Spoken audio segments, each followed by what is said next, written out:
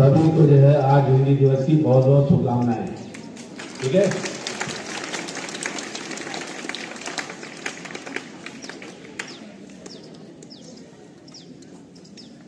हिंदी में जब हम लोग पढ़ते थे, बहुत कम नंबर आते थे। पचास परसेंट भी आते थे।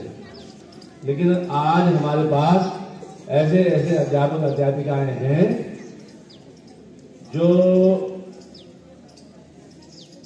कि बच्चों को इतना अच्छा पढ़ा रहे हैं, कि नब्बे परसेंट वाणी सरस्वती माँ, मुझको वाणी कावर दो।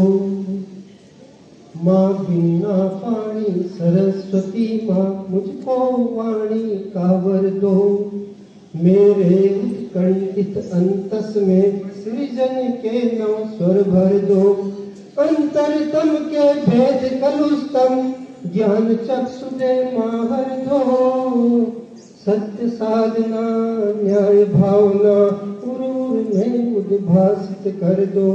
माँ उरूर में उद्भासित कर दो। माँ बीना पाणी सरस्वती माँ, मुझको वाणी का वर दो। ये मैंने माँ बीना पाणी के लिए लिखी थी। और अभी जो हमने हिमालय दिवस मना रहे थे हम तो कुछ भाव मन में आ रहे थे। वैसे तो पुरानी कविताएँ काफ़ी हैं, लेकिन थोड़ा नया विषय ठीक लगता है सुनना।